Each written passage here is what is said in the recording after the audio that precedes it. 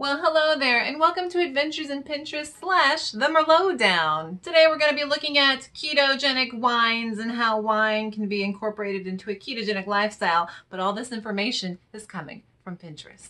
So crack open your favorite bottle of wine and enjoy.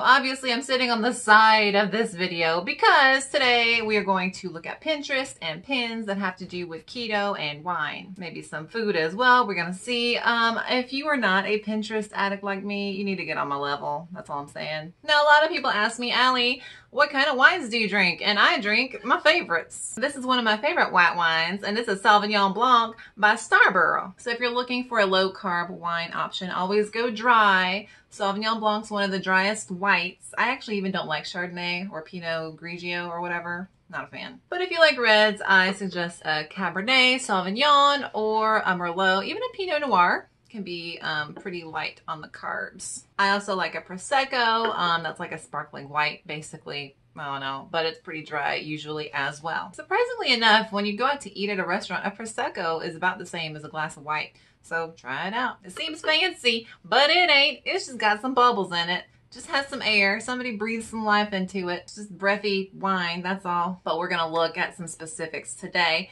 And I have my handy dandy laptop ready to go. Um, so yeah, let's go ahead and get started.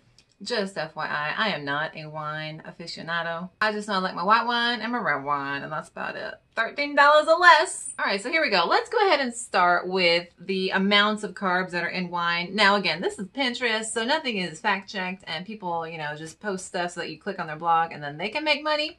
Um, so, you know, always take this with a grain of salt, but from what I saw, these looked like pretty good numbers from what I know. What do I know?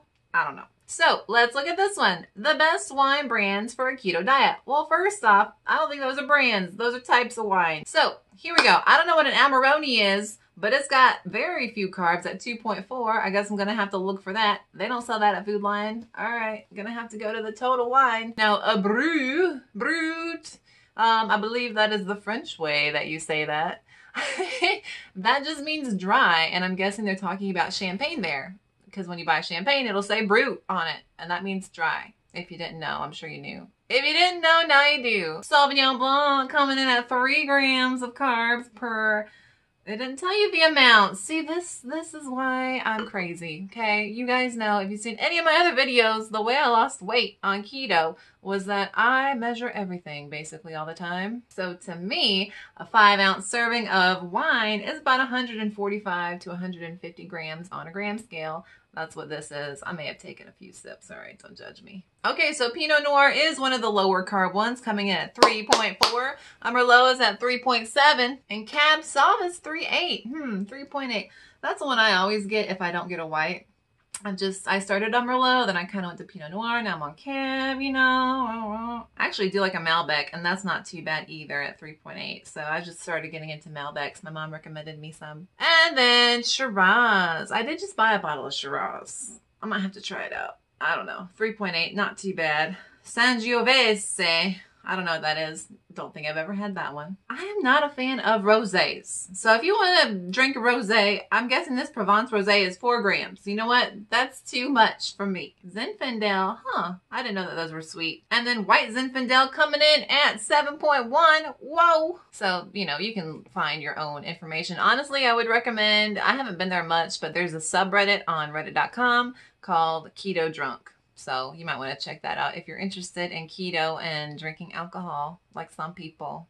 All right, what is champagne versus Prosecco? I don't know. I just always call it sparkling wine because you can't go wrong. Champagne and Prosecco both are sparkling wines, right? That's what I think. Ah, Prosecco is made in Italy. Italia, my mother country. That's where Ally McWowie comes from. Ally McWowie. So, they actually come from a grape called Prosecco. Interesting. This doesn't really have much to do with keto, but I do like both champagne and Prosecco, and they are both very dry and usually very low carb alcohol options.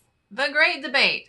Is red wine better than white? Well, let's see. White wine has fewer cancer preventing antioxidants, but white wine has less histamine, which means them allergies and that flush you might get from a red wine. You ain't gonna happen find in a white wine. White wine has more acid, so it's gonna hurt your teeth a little bit. Gotta watch out for them face bones. Well, we are in a crisis in which the lungs are affected, and apparently white wine helps to keep lung tissue healthy more so than red wine. So cheers, y'all. Hmm. This is your girl being proactive during this whole pandemic. White wine's got about 70 calories. Red wine's got about 74 per a three to five ounce glass. That's a big, that's a big difference. Maybe they meant 3.5 ounce. I don't know what they're talking about over here. Mm. Oh yeah, generally when I I just I looked up one generic red wine thing I found by somebody, and when I plug it in, that's what I use. So 125 calories to three to four net grams of carbs per five ounces, or 145 grams on a gram scale. I know I memorize these things. Well, you know, the more you use it, the easier it gets. That doesn't sound good forget that. Fewer known medication interactions with white wine. Now, I am not a doctor, just so you know. Um, I studied the humanities in college. That's why I'm struggling a little bit. So it looks like white wine, depending on what you're looking for, might be a better choice. But red wine stains the teeth, okay? And the lips, you know, wine lip. All right, so here's another uh, carb and calorie chart that we have that's called wine calorie chart, but it also includes carbs. So it says Merlot is four here. Pinot Grigio, 3.9, basically 4. I always just kind of round up a little bit. Pinot Noir, 3. Chardonnay, 3.7. Cab Sauv, 3.5. Uh-uh. Riesling, don't even drink that. Rosé, ugh. Sauv Blanc, what do we got? 120 cals and 2.7 grams of carbs. Uh-uh. This one I think is saying it's about the same, about the same as the last chart. Burgundy. I'm not rich enough to drink in Burgundy. Apparently, what I've heard from a very fancy friend, if a wine is named after a region, that's a nice wine. And all the other stuff is junk. But, you know, the junk gets me by. So Moscato just sounds gross, so I didn't even care. Sounds musky. No.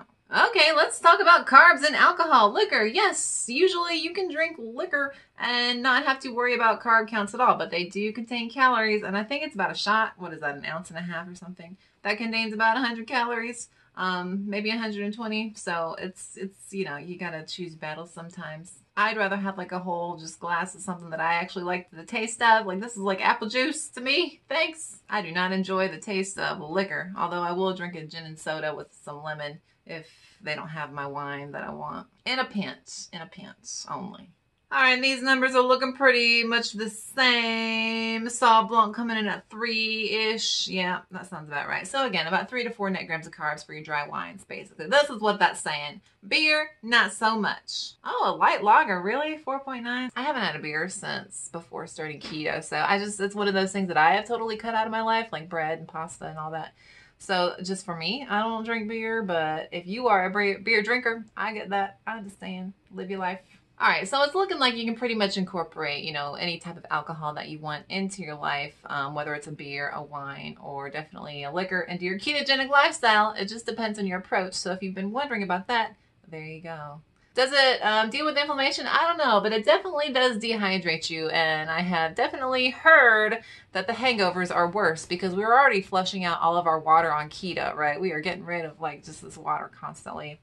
It's that whoosh that, you know, just you're thirstier on keto. So especially when you drink and alcohol dehydrates you, um, yeah, it's, it's going to hurt the next day. So keep some ibuprofen near, near your bedstand table, bedside stand, bedside table, all right, let's get into the fun stuff. Wine and cheese pairings, my two favorites. Y'all know I love me some cheese for like two years. I just had cheese for breakfast and I just had a snack of Parmesan, y'all. I had a bag of Parmesan that was already grated and I just took a spoon and I just ate about, I don't know, 70 grams of that. It was good. So I like cheese. Let's see what goes with the good old Sauv Blanc with my white wine. All right, goat. Yep, I like that.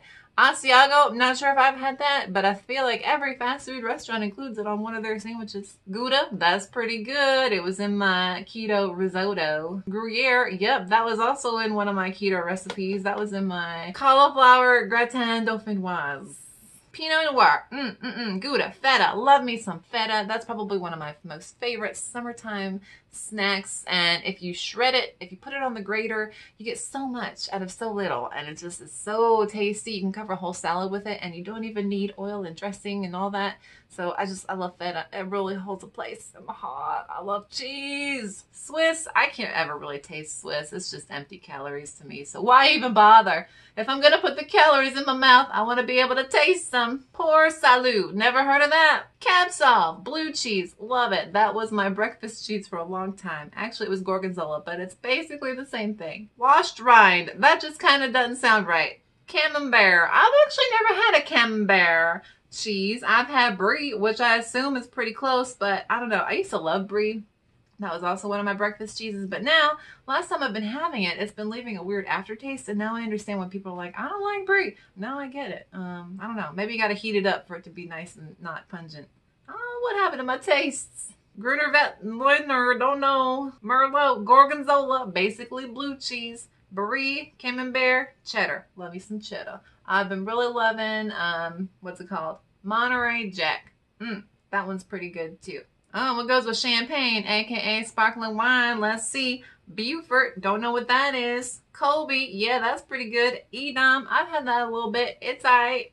And I can't see the last one because freaking Pinterest puts this thing here on the bottom of all of its pins and you can never see what it is. I never say champagne when I know it's sparkling wine because I don't want to sound stupid, but I don't care when people do it. Like, at the restaurant I go to a lot, my Japanese restaurant, the bartender's like, you want a glass of champagne? And I'm like, well, yeah, but it's real sparkling wine. I'm just like, oh, I don't want to think I'm stupid. All right, that was my spiel. More cheese. All right. Oh, this is just all about cheese. Cheese lovers. Yeah, I'm going to pin you and save you for later. Oh, it tells you where everything's from. Interesting. And what animal it's from. Huh. Manchego. If you've never had Manchego, you're missing out on life. It's my favorite cheese.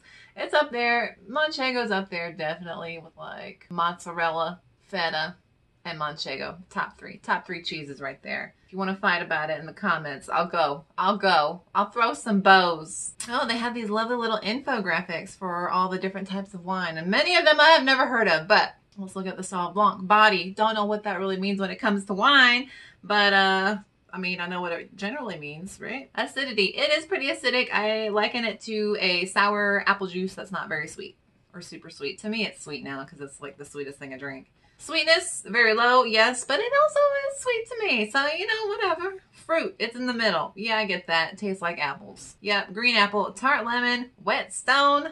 That, I, I don't get the wet stone. Well, I guess, yeah slightly. Well, I feel like just they say these things and you're like, yeah, that sounds about right. And you just, you know, about wine, people are really into it. Grass, why not? Why not? Pairings with gazpacho. You know what? I make my own gazpacho at the Mexican restaurant. You know what I do? If they have a nice salsa that I like, I will just like eat the salsa with a fork and I consider that a gazpacho appetizer. Um, I just don't eat the chips, eat the salsa and it's real good. Maybe add in some extra hot sauce to make it extra spicy. Picante. Grilled fish with lemon. Yes. Salad with goat cheese. Sounds good. Flavor profile. It's light, slightly fruity, and that's about it. Poulet fumé Bordeaux Blanc. Sancerre. Sancerre. I'm going to name my daughter that. Sancerre. Sancerre. Oh, don't you guys go stealing my ideas. I should have said that on video. Sancerre. Now I first had Pinot Noir at a wedding and I really liked it because it was light. Um, it wasn't very heavy. I don't know. It was just easy to drink and you know, sometimes that's what you want. That's why I don't drink liquors because they're just so pungent and I just, I can't get over the taste. So let's see. Body, uh, not really. Acidity, okay. Sweetness, no. Fruit in the middle, all right. Primary flavors, cherry, cranberry, and forest, forest floor. Oh oh gosh. Yeah, I, got, I gotta, I guess you can taste a bit of dry leaves and mushroom and dirt footprints. Pair with grilled chicken salmon, wild mushrooms, roasted pork, and a flavor profile. It's light and fruity. Willamette Valley, Umpqua Valley, and Columbia Gorge. That all sounds American. All of that sounds American. Do we make a good Pinot? Oh, it's from Oregon. That's, oh, these are, they have locations. Oh, the Sauv Blanc was from France. All right, just had to figure that out. Let's look at 14 essential seafood and wine pairings. All right, salmon and Pinot Noir. Pinot Noir stands up to the richness of the salmon while still being light and bright enough to pair with fish. Hmm, interesting. Oysters and bubbly. I've only ever had oysters once. Um, and it was because I was drinking some bubbly. So I guess that was just meant to be. Actually, I've had them twice now, but it's not something that I order. I just don't know enough about it. I feel like if I could cook it and kill myself, I probably don't want to eat it in general. Tuna and scallops and sauv blanc. I do love me a good bacon wrap scallop. Mm-hmm. Sauvignon Blanc allows the distinct grassy and buttery notes of the scallops to shine through. What is this with sauv blanc and grassiness? I don't know. What's happening, Pinterest? What you doing? Vinho Verde, I don't know what that is. Never ever heard of that. Albarino, Trout and Chardonnay, fish and chips and bubbly. Mm, I do miss a good fish and chips. Like, especially like when you go to a pub, like that's like, that's always on a pub menu. And I just miss me some good old fish and chips and tartar sauce. Mm. I don't know what any of this is. Verdejo Suave. What is that? I don't know. I guess they're in Chile. Chilean sea bass. All right, more wine and cheese. Um, I'm going to leave that one alone. I want to get to like some actual meals. I want to see what I can actually eat. Meat. Here we go. Meat, cheese, and wine. So, Chardonnay, Riesling Rosé, ham, cheddar, mozzarella, baby Swiss. Pinot Noir, Merlot, Pinot Gris. Is that, is Pinot Gris, Gris, Gris? Is that different from Pinot Grigio? Don't know. Like I said, not an expert. Smoked ham. Oh, they like their ham. Pinot Noir, Rioja, Merlot. Rioja's from Spain.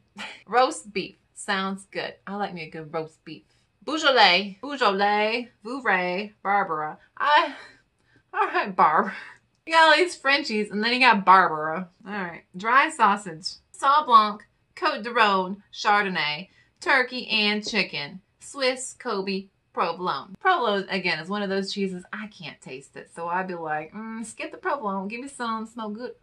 I do like chicken a lot. It's such a lean meat, but it's not like super dry like turkey. And I just incorporate it and so much into my life. A good chicken breast. I just, I could eat it every single day. Well, Well, folks, that's about it for today. I hope that you enjoyed the video. Just a little bit something different. Um, I haven't done an Adventures in Pinterest video in like so long. Same as like a Merlot down, even though this is not Merlot.